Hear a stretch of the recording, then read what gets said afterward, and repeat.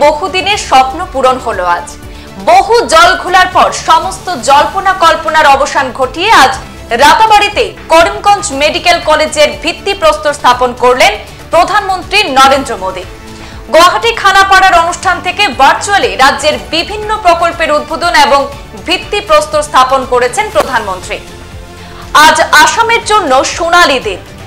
মোদীর নেতৃত্বের প্রশংসা করে বললেন আসামের মুখ্যমন্ত্রী হিমন্ত বিশ্ব শর্মা। লোকসভা ভোটের আগে আসামে কল্পতরু প্রধানমন্ত্রী নরেন্দ্র মোদী। সামনে লোকসভা নির্বাচন। তার আগে রবিবার গুয়াহাটিতে তার প্রথম জনসভায় প্রধানমন্ত্রী নরেন্দ্র মোদী আসামে এগারো হাজার ছয়শো কোটি টাকার পরিকাঠামো প্রকল্পের উদ্বোধন এবং ভিত্তি প্রস্তর স্থাপন করেন। প্রকল্পের তালিকায় রয়েছে নতুন রাস্তা রাস্তা প্রশস্তকরণ, নতুন মেডিকেল কলেজ, স্টেডিয়ামগুলির আপগ্রেডেশন এবং হিন্দুদের মধ্যে অন্যতম জনপ্রিয় এবং পবিত্র স্থান গুয়াহাটির কামাখ্যা মন্দিরে একটি অ্যাক্সেস করিডোর তৈরি করা। বর্তমানে আসামে যে প্রকল্পগুলি চলছে, সেই প্রকল্পগুলির কথা উল্লেখ করে মুখ্যমন্ত্রী হিমন্ত বিশ্ব শর্মা বলেন, রাজ্যের ইতিহাসে এই প্রথম একদিনে এগারো হাজার ছশো কোটি টাকার পরিকাঠামো প্রকল্প ঘোষণা করা হয়েছে। আসামে চার লেনের জাতীয় সড়ক নিয়ে দুটি প্রকল্পের উদ্বোধন করেন মোদী।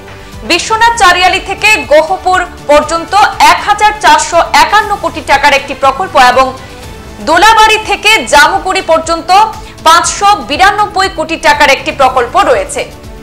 আজ রবিবার স্থাপিত ভিত্তি প্রস্তরগুলির মধ্যে উল্লেখযোগ্য ছিল কামাখ্যা মন্দিরের অ্যাক্সেস করিডোর, যা সমস্ত আবহাওয়ার পথচারীদের সংযোগ এবং তীর্থযাত্রীদের জন্য উন্নত সুযোগ সুবিধা সরবরাহ করবে।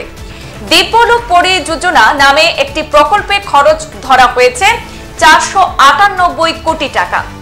প্রধানমন্ত্রী আসাম রাজ্যে বিদ্যমান গুয়াহাটি মেডিকেল কলেজ হাসপাতাল, অর্থাৎ জিএমসিএইচ, এবং করিমগঞ্জের জন্য একটি নতুন মেডিকেল কলেজের জন্য পাঁচশো আটাত্তর কোটি টাকা মূল্যের সুযোগ সুবিধা এবং পরিকাঠামো উন্নয়নের জন্য তিন হাজার দুশো কোটি টাকার একটি প্রকল্পের ভিত্তি প্রস্তর স্থাপন করেছেন।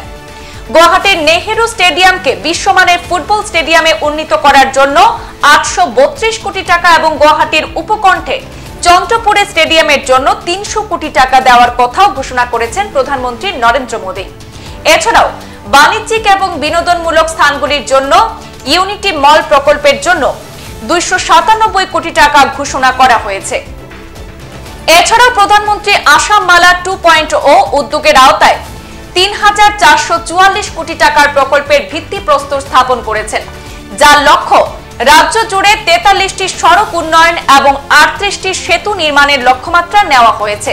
এর মধ্যে রয়েছে গুয়াহাটির লোকপ্রিয় গোপীনাথ বরদলৈ আন্তর্জাতিক বিমানবন্দর, সংযোগকারী রাস্তা, প্রশস্তকরণ এবং তেতাল্লিশটি সড়ক ও আটত্রিশটি সেতুর উন্নয়ন।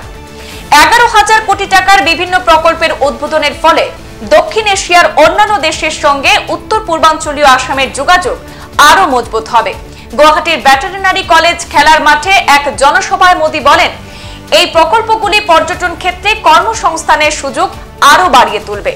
এই সমস্ত প্রকল্প দক্ষিণ পূর্ব এশিয়ার দেশগুলির সঙ্গে আসাম এবং উত্তর পূর্বের বাকি অংশের যোগাযোগ বাড়াবে।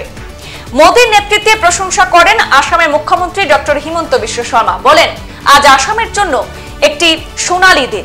প্রধানমন্ত্রী মোদীর নেতৃত্বে আসাম অভূতপূর্ব শান্তি এবং সমৃদ্ধির সাক্ষী হয়েছে। জঙ্গিবাদ এবং উগ্রবাদে উদ্বুদ্ধ হাজার হাজার তরুণ অস্ত্র সমর্পণ করে সমাজের মূল স্রোতে ফিরে এসেছে। ব্রহ্মপুত্র নদের উপর আমাদের নয়টি সেতু তৈরি হয়েছে। এটা একমাত্র প্রধানমন্ত্রী নরেন্দ্র মোদীর নেতৃত্ব এবং দূরদর্শী নির্দেশনার মাধ্যমেই সম্ভব হয়েছে বলে মন্তব্য করেন আসামের মুখ্যমন্ত্রী ডক্টর হিমন্ত বিশ্ব শর্মা।